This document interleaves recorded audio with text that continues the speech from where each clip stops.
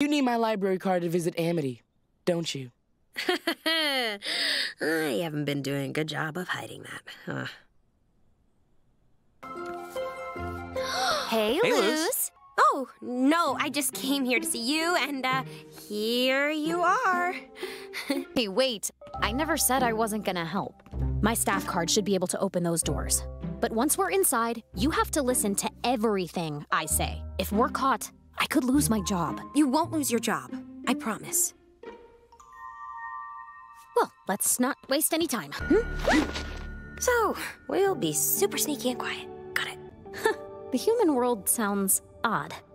Maybe it would be less odd if I showed you around someday. But, uh, let's turn back. I don't want to push you. We're getting that diary.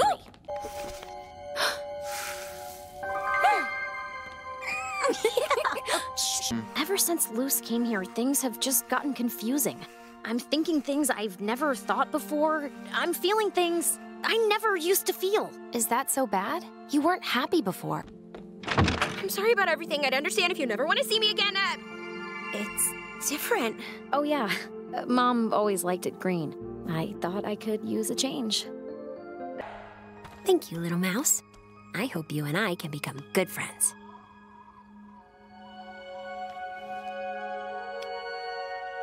Don't worry. You always have a way of sneaking into people's hearts. Faux move, sister.